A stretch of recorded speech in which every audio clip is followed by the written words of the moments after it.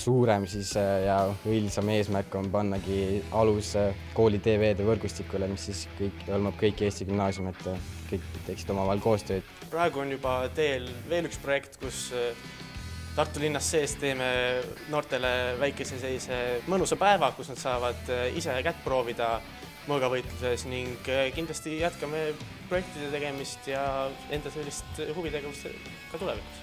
ja oma ettevõtlikkusega siis ehk jagada seda Võru noortega, kuna neil jääb tihti puudu sellest. viie aasta pärast, kui meie projekt väga ilusti toimib, siis me tahaks rahvusvaheliseks teha